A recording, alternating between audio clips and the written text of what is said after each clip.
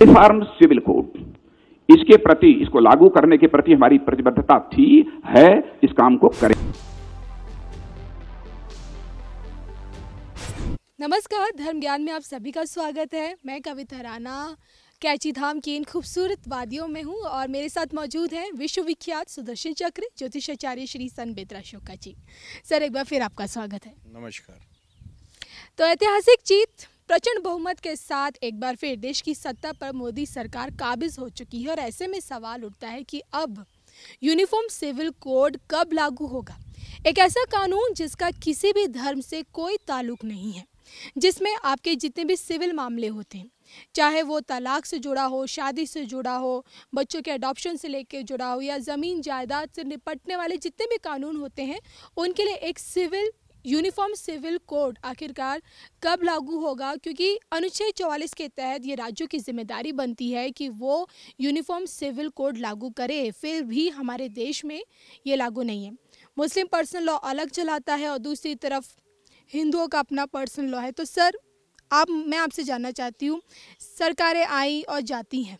लेकिन जो सबसे बड़ी बात है यूनिफॉर्म सिविल कोड आखिरकार अब तक हमारे देश में लागू क्यों नहीं हुआ, जबकि हमारे पड़ोसी मुल्कों में सूडान से लेके, पाकिस्तान से लेके, बांग्लादेश जैसे देशों में, जब उनका अपना यूनिफॉर्म सिविल कोड है, फिर हमारे देश में क्यों नहीं है?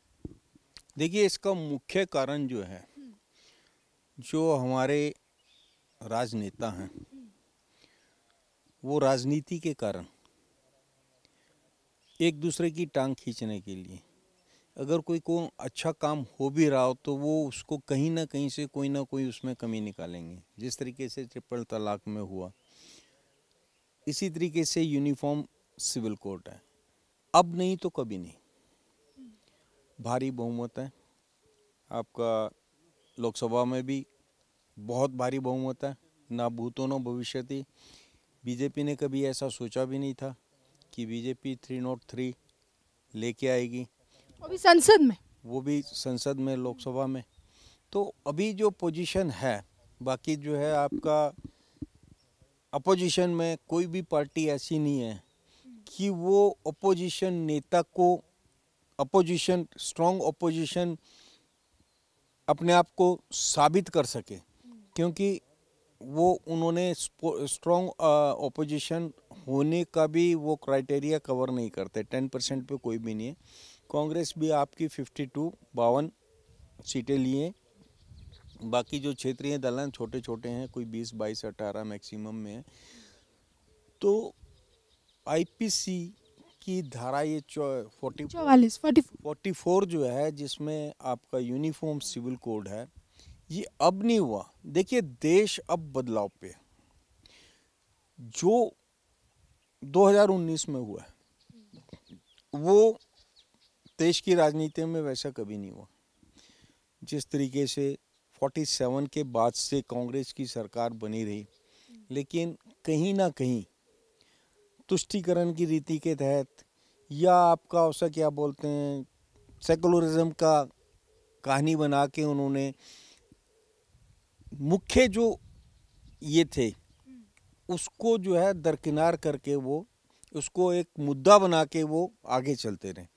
लेकिन अब हम उम्मीद करते हैं मोदी जी से कि ये जो आपका यूनिफॉर्म कोड है, इतने भारी बहुमत के बाद मई, जून में इनको आपका राज्यसभा में पूर्ण बहुमत प्राप्त हो जाएगा। मतलब उनको किसी की ज़रूरत नहीं पड़ेगी। और जहाँ तक बात है आपकी, राज्य सरकारें जो हैं, दो तिहाई से ज़्यादा स्टेट्स में जो है, बीजेपी की सरकारें हैं। तो उनको कहीं से भी, और फिर उसके बाद जो है हमारे जो माननीय राष्ट्रपति महोदय हैं, वो भी बीजेपी से हैं। तो इन सब चीज़ों को अगर सामने रखें और उसके बाद भी अगर यूनिफॉर्म सिविल कोड ना हो, सबसे बड़ी बात यह है कि हर एक व्यक्ति चाहता है। जो अपोज करते हैं, वो अपोज इसलिए करते हैं कि वो अपोजिशन में और उनको उनका धर्म, वो अपना धर्म समझते हैं अपोजिशन में बैठ के अपोज करना। अदरवाइज़ यूनिफॉर्म सिविल कोड हो गया 370 हो गया 35 ए हो गया, और जनसंख्या कंट्रोल ये मुद्दे ऐसे हैं जो हर एक पार्टी का नेता चाहता है।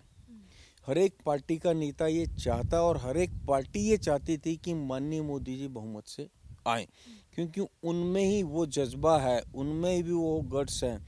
वही छप्पन इनका सीधा, सीना रखते हैं जो ये काम करवा सकते सर, हमेशा देखा गया है कि जो मुस्लिम समुदाय का एक बड़ा धड़ जो है, वो हमेशा से यूनिफॉर्म सिविल कोड का विरोध करता आया है। इसके पीछे क्या वजह रहती है? क्या शायद उनका अपना मुस्लिम पर्सनल लॉ है तो उनके अपने अपने कानून के चलते वो बाकी मामलों को निपटाने की वजह से देखिए, दुनिया बदल चुकी है।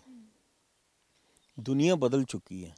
लेकिन आप अगर पुराने ढर्रे पे रहोगे तो एक दिन मिट जाओगे। क्योंकि जो समय के साथ चेंज नहीं होता, वो खत्म हो जाता है। लेकिन सर, मोदी जी तो बात करते हैं ना कि सबका साथ, सबका विकास, सबका विश्वास, सबको एक साथ लेके चलने की बात करते हैं। तो ऐसे में यूनिफॉर्म सिविल कोड को लाना, लागू करना, ये तभी मुमकिन हो सकता है जब आप सबको, सबकी सहमति से कर पाए ये काम। नहीं, बिल्कुल ठीक कह रहे हैं आप। सबका साथ, सबका विकास, उसके बाद सबका विकास, विश्वास। ये जो तीनों चीज़ें अगर इनको ढंग से एनालाइज किया जाए तो एक बंदे की मेंटेलिटी पता लगती है कि वो किस सोच का है। उनके लिए सब बराबर हैं। सब बराबर हैं इसलिए सबका विश्वास। और वो इस चीज़ को प्रूव कर देंगे कि यूनिफॉर्म सिविल कोड जो है आपके फ़ायदे के लिए। जिस तरीके से ट्रिपल तलाक के लिए कोई हिम्मत नहीं कर सकता था कि इसको, इसका विधेयक पास करवाया जाए या इस मुद्दे को उठाया भी जाए। उसका रीज़न ये था कि जड़ में अगर आप जाएँगे तो कांग्रेस ने मुस्लिम को सिर्फ़ वोट बैंक समझा और वोट बैंक समझकर मुस्लिमों के जो आका हैं, आका बोले तो जो आपके मौलवी पादरी और मौलवी वगैरह जो हैं, उनको अपनी मुट्ठी में रखा। उनको मुट्ठी में रखा तो आप ट्रिपल तलाक को अगर देखते हैं तो ट्रिपल तलाक सारे उसमें जो बेनिफिट्स हैं वो उन्हीं मौलाओं के हैं, मौलवियों के हैं। और मौलाओं ने ही छाती पीटी ट्रिपल तलाक के लिए, जबकि मुस्लिम महिलाओं ने आगे बढ़कर इस चीज़ को मांगा कि मोदी जी का डिसीज़न बहुत बढ़िया। यही कारण है कि जो है, बीजेपी की सहयोगी पार्टियाँ मिलकर जो है 354 का आंकड़ा क्रॉस कर गई और आने वाले समय में, क्योंकि देखिए आपके जो और भी जो आपके जो यूपीए के बाहर के जो दल हैं यूपीए से बाहर के वो भी बीजेपी को ही सपोर्ट करेंगे। सर आपके साथ मैंने पीएम मोदी जी की राजनीतिक कुंडली का विश्लेषण किया। कई राजनेताओं की कुंडली का विश्लेषण करती हूँ तो ऐसे में आपको क्या लगता है कि अब जो कि सत्ता में केंद्र में बीजेपी बहुमत के साथ है तो क्या लगता है आपको कि आने वाले वक्त में कितना टाइम लगेगा सरकार को इन, आने वाले इन पाँच सालों में कि वो देश में एक बार फिर यूनिफॉर्म सिविल कोड को लागू कर सके? देखिए, मैं इसके लिए एक सुझाव दे सकता हूँ।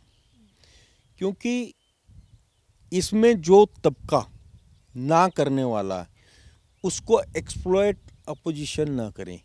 उसको एक्सप्लॉयट विघटनकारी ताकतें ना करें। इसलिए पहले उन लोगों को इस चीज़ के लिए हमारे पास काफ़ी टाइम है। पाँच छः महीने जून जून तक आपका जो है राज्यसभा में बहुमत मिल जाएगा। 2020 तक। 2020 के जून तक मिल जाएगा। तो तब तक इन लोगों की मीटिंग्स लेके इन मौलवियों की जो आपके मदरसों के थ्रू जो भ्रांति फैलाते हैं इन लोगों को एजुकेट करना पड़ेगा।